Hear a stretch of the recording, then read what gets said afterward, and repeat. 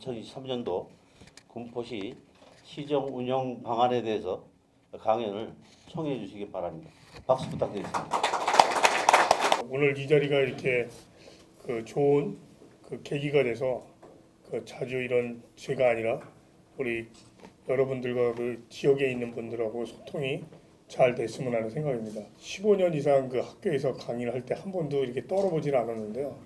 근데 오늘 여러분들이 이렇게 한 분 한 분 이렇게 좀 뵈니까 괜히 가슴이 좀 떨리네. 그다음에 당정동 공업적 활성화 사업을 추진하고 있습니다.